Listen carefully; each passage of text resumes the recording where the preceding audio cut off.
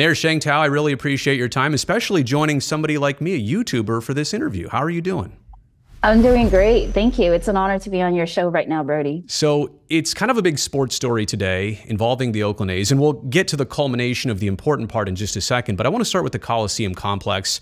Has recently gone through two separate sales. It's entirely sold, meaning that the A's are out, the city of Oakland is out, the county of Alameda is out. AASEG, the African American Sports and Entertainment Group, they are in the Coliseum, 100% owners and operators.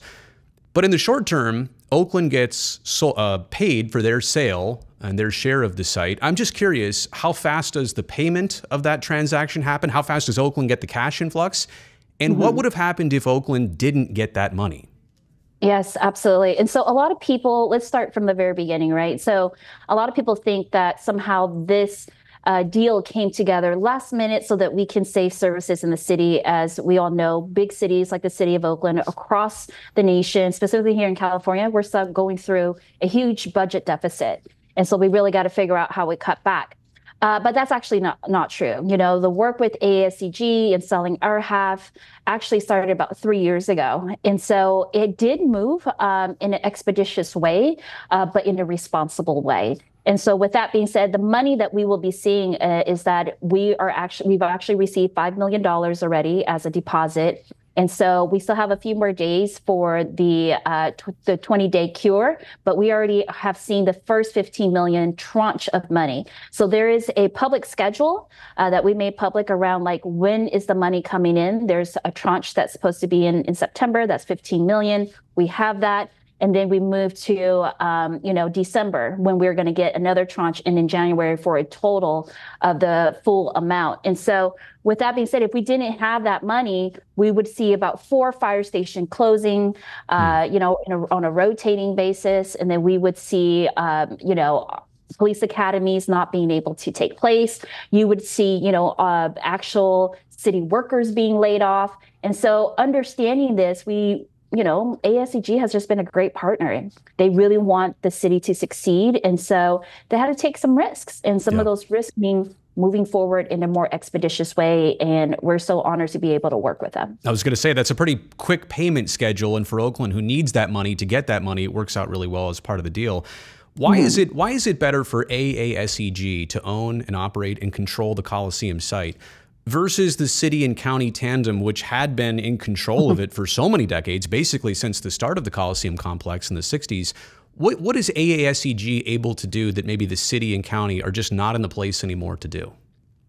You know, I like to think of the city and the county's relationship as like a co-parenting relationship. And sometimes it just doesn't work out. Actually, a lot of times it doesn't. And so what we're seeing is that the ownership of the Coliseum by these two organizations, which is the city and the county, um, it hasn't actually you know, built out the Coliseum. You know, uh, it's in the space of, uh, you know, um, a cycle of just being kind of stagnant. And so for me, it's all about how do we move the city forward? Mm-hmm. And that means that since the A's were already purchasing the county side of it, you know, and that was a whole, you know, uh, county didn't really come and talk to the city about selling their half. So it was, you know, a constant bad relationship. And so with that being said, coming in, I understood that having one owner for the Coliseum is going to be key in how we, one, create this catalyst for the influx of new revenues to come into the city of Oakland through development of the site. And then two, you know, just that's just basically what it is. It's just the development and moving that site forward.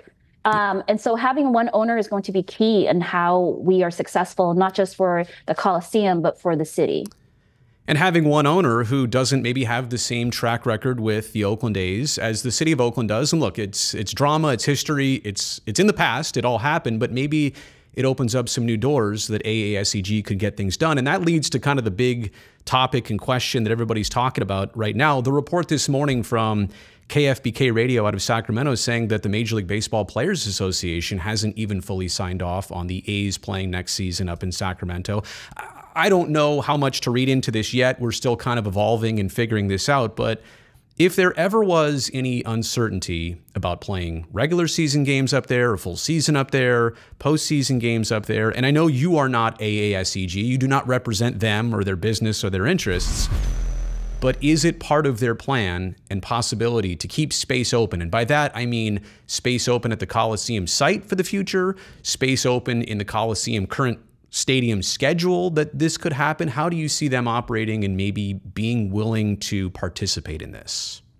Yeah, well, you know, first and foremost, um, with the Oakland A's, you know, saying that they're going to take off to Sacramento, we've already secured the Oakland Roots, our soccer team, right. to actually play at the Coliseum for 2025, as their stadium is being built out right adjacent to it at the uh, at the Malibu site. And you know, AASEG has a strong reputation of working with the Oakland A's, right? They, they had to work with the Oakland A's to buy their half of the Coliseum. And that is go that went through. And so what that shows me is that AASEG can work with the A's to actually uh, come up with a plan if the A's choose to stay at the Coliseum. You know, it is my understanding, of course, like you stated, I don't speak for AASEG, uh, but it is my understanding that that is what they want. They would like to continue with the having the Coliseum there, obviously with upgrades, um, but to also have the opportunity, if that there is sports that is available, professional sports, that they will have space for professional sports there in regards to Sacramento and what Scott Boras has stated, um, you know, we know that Scott represents not only Oakland A's play, but the plethora of all the great players in uh, the league. And so, you know, with him, who is actually a Central Valley guy, it's my understanding he uh, lives or lived or lives in Elk Grove. Correct. Is that I mean, I was born and raised in Stockton. I know how the heat gets. Sometimes you get to 120 degrees. And with that, you know, artificial turf, it's my understanding that it can be upwards of 20 to 30 degrees hotter on that actual turf. And so it's not a surprise to me. We always knew that when the A's announced they were going to Sacramento, that there was a reason why there wasn't a professional team in Sacramento to begin with. It's so hot out there, right? And I believe that now Casey, uh, Casey Pratt, who uh, is working for me now, but reported before he started working for me, reported earlier that you know having artificial turf is just not something that we you know that we should take lightly especially when you don't have you know it, especially when it's not indoors and of course, there's another obstacle of it being a minor league team field. So it's all of these different things that doesn't make it fun for players to play. It's actually kind of dangerous for their bodies, right? And so uh, I totally get where Scott's coming from. And again, we welcome that conversation here in the city of Oakland, being that AASEG is the only one owner now. I think that if uh, John Fisher and his team would like to come back and have that conversation with AASEG, that is more than welcome. And I, I, don't mean to say this in, a, in an insulting way because you're mayor now, but there were prior mm-hmm. mayors that were obviously working on these plans and this project. It, it, makes it more simple that the A's don't have to work with the city, right? In anything well, Coliseum related. Absolutely. I mean, it, I mean, let's just be clear. Even you know, it wasn't just like the city; it was the city and the county. And yes, Correct. we're both like govern. Uh, we're both governmental arms, but that doesn't mean you know. It's just kind of like a, a, sibling relationship, right? It doesn't mean that we get along and agree on everything. We all have different staff. We have right. different attorneys, and uh, when attorneys get into stuff like this, it just gets uh, convoluted and long. Uh, but to have one ownership of this, uh, the Coliseum, I think that that's going to be huge. And again, they have a track record now of being right. able to uh, successfully work with the A's to begin with. And, you know, it, no, there's, I want to be clear, like there's, you know, it's a win-win all around. You know, it's not like if the A's come back somehow they lost something. No, it's just a win-win-win all around. Fans win, the city wins, you know, the A's win, uh, and they get to still be in this beautiful weather and still have like a huge chunk of profit coming in, and it just wins for everybody. And so I, I don't want people to think that you know, the A's coming back that somebody will be the bad guy or will look bad. No, it's not that. It's, you know, let's just do what's right. And what's right, I believe, is keeping the A's here in the city of Oakland, um, if that is the will of AASEG and the Oakland A's. And again, all of this hypothetical. Uh, it's based off reports, but there are some things to be interested in here in the way that this news has come out and the people that are bringing this news, like Scott Boras, to the forefront.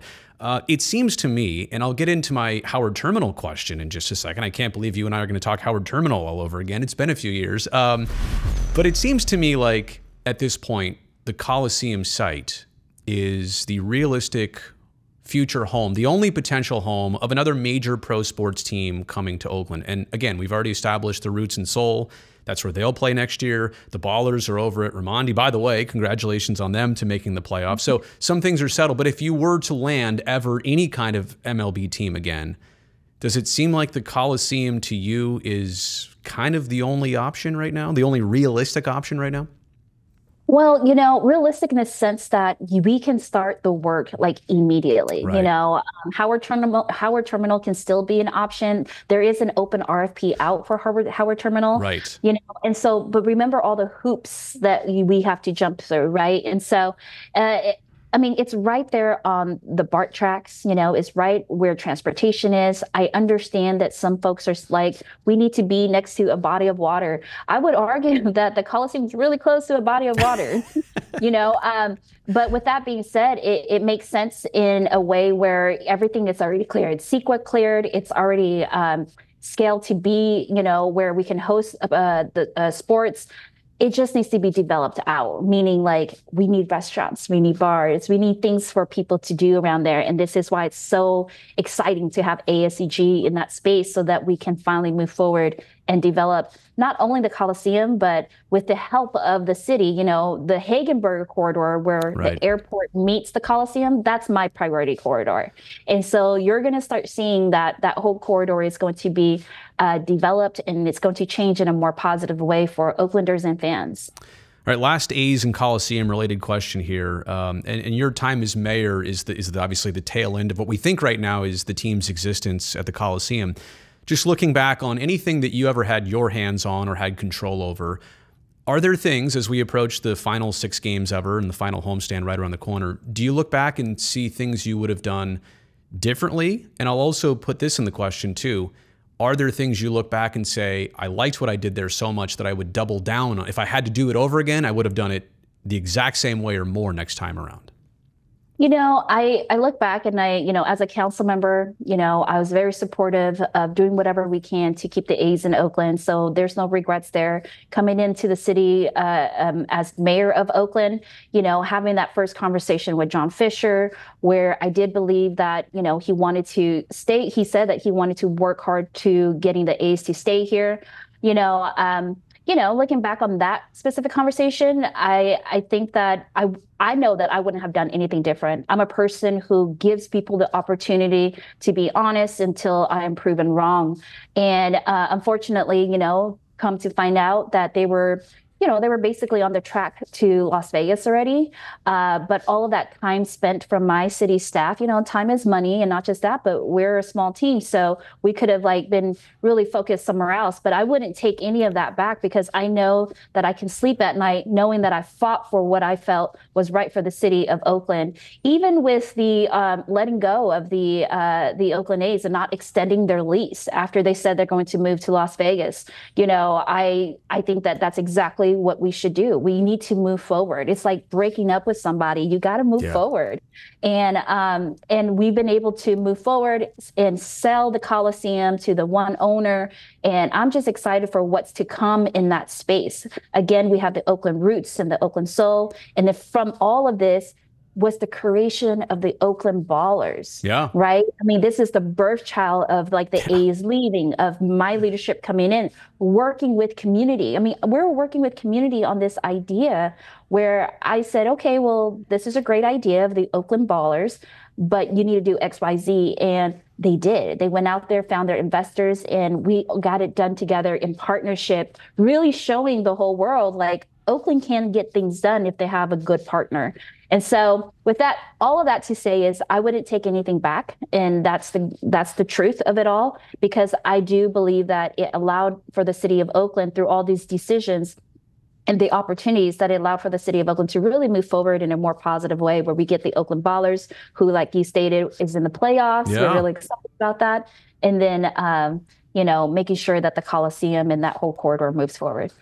So, whether we have uh, baseball stadiums or sports venues being constructed or not, it's an interesting upcoming years or decades, I should say, in Oakland when the Coliseum might be redeveloped and the Howard Terminal site might be redeveloped. And I'll get to that now. The Port of Oakland issued that request for qualifications at the Howard site, whatever they call it. It's really Howard yeah. Terminal. That's how we know it. Uh, they're looking for ideas and they're looking for potential buyers and, and investors in that land. They, they're still interested in doing something there. Um, yes. So let me let me do this. Let me let me get both sides of it. For you, it's 50 plus acres right north of Jack London Square. It's a great spot in Oakland. It's so underutilized right now. What's a likely scenario and what's a dream scenario from a mayor's perspective of what ultimately happens there?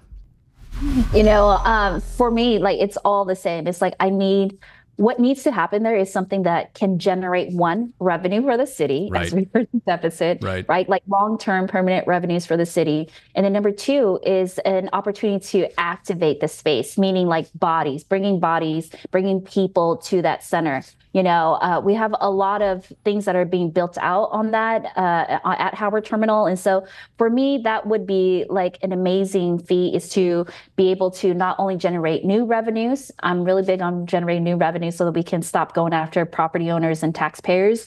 And then number two, just, you know, having that foot traffic is going to be key to our safety and, you know, our thriving small businesses here. All right. Uh, can you give me like 45 seconds to, to spell out here uh, a dream scenario. All right. And then you tell me if I'm crazy for, for thinking about this. Okay. So you've got this RFQ, you've got the Port of Oakland who's highly motivated to say, hey, somebody come develop this. What if somebody out there from the Bay Area with a lot of money says, wait, I just saw all those renderings that the A's did. They did all the legwork. They proved that you can get an EIR done at Howard Terminal. You can get BCDC approval at Howard Terminal. What if somebody else came along and said, I'm going to develop the entire area around it, but I'm going to carve out oh, I don't know, 15 acres or so for some type of professional sports venue in the future. I'm also going to go ahead and tell Major League Baseball or Major League Soccer or whatever the league is and say, you know what, I own this land. We have worked on this with the port. I've got the money to start the team. So I'm just saying, if the A's ship has sailed, is it possible somebody comes in, takes advantage of the Howard Terminal site? Oh, oh, by the way, I still think there's like $600 million of infrastructure that the city has gone out and acquired uh, from the state and federal sources. So there's all that going at the site that somebody might actually use it for a sports development. Is that is that my dream or is that somewhere on the spectrum of reality? No, I mean that could be reality. I mean, what you're talking about is exactly what we were hoping that the East would do. Right. So if somebody can actually have, if somebody comes in and actually has the real money to do that, it's like let's have a real conversation. There could be real partnership here and synergy you know um, and so again that will bring bodies in that will cre- create jobs.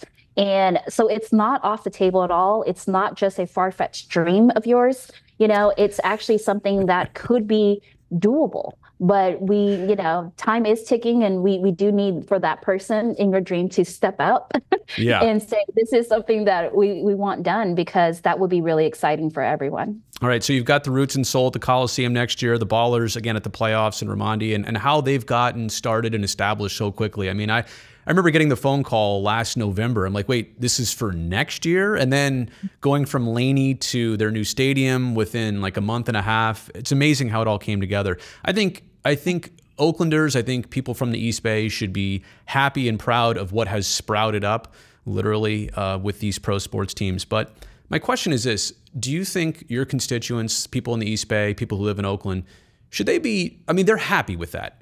Should they still aim for more? Should they still have the hope that someday a, one of the major pro sports leagues will come back to Oakland? How, how, how do you think they should feel about that? Yeah, you know, I think that so for Oaklanders, um, I think that it's like a love hate relationship with professional sports. The reason why I say that is that in the past, you know, um, leaders in the past have given such sweetheart deals that was really on the backs of taxpayers and residents. And uh, just knowing that in moving forward, like we can't continue to do that. And so, with that being said, if there is, you know, a professional sports team that will come in to do uh, uh to have a fair partnership, to have a fair partnership that we would welcome that. You know, residents will love that. We would welcome that. And, uh, you know, I'd be really excited for that.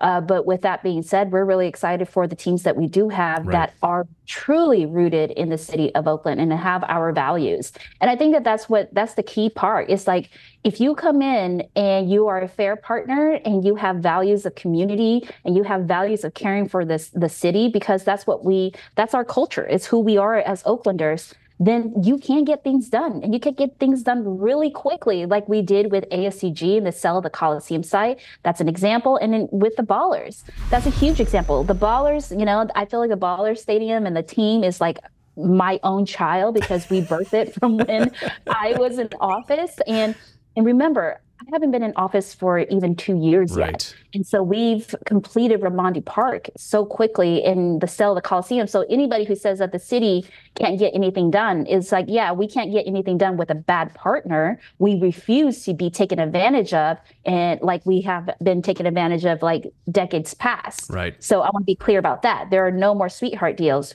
We just want you to be a fair partner. We will do our part if you do your part. As I now formally end this interview, I just want to point it out. You and I did not color coordinate on your jacket or my shirt, but I'm sure on camera it's going to come across looking quite nice. Uh, Mayor Sheng Thao, I really appreciate the time. I wish you the best of luck in however the next few weeks and months go, and I appreciate our conversation. We'll do it again, hopefully, sometime soon. Absolutely. Thank you, Brodie.